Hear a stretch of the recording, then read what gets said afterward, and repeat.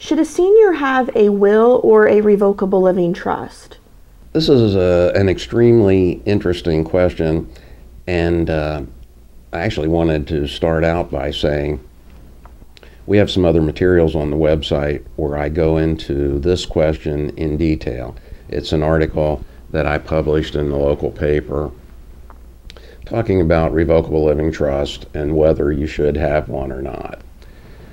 Um, lot of times, uh, attorneys market for the revocable living trust because attorneys generally charge more for a revocable living trust than they do for will based estate plans.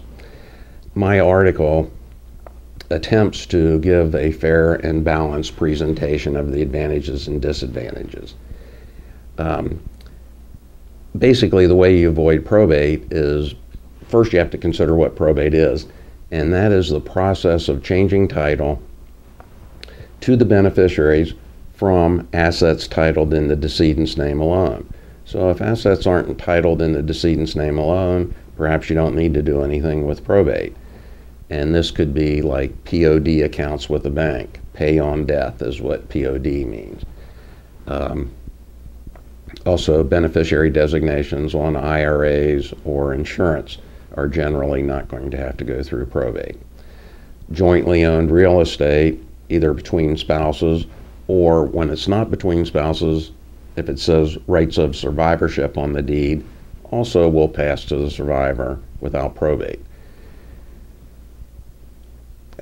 And a, a revocable living trust is probably the best way of doing that because basically you create a trust document and it talks about what's going to happen during your lifetime, talks about what's going to happen at your death, and then in order to make it work, you then have to transfer the assets to the trust so that they are not owned by the decedent at the time of death.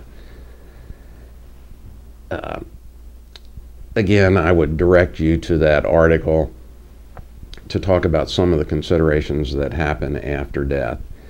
Many times, uh, even with a revocable living trust, you're going to need some professional assistance to help you administer that trust after the death of the owner.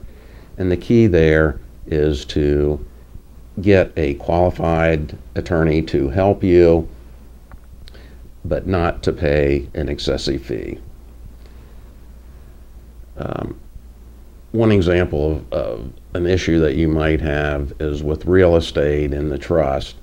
Um, when that is sold after death, the title insurance company is going to want to make sure of a couple things whether or not there are creditor claims against the property and uh, whether or not there are tax liens against the property. Uh, on the uh, death tax lien situation, that's fairly easy to cure. On the creditors, it's difficult to prove that without some kind of a probate action whereby you publish notice to creditors and they have a limited period of time to file claims.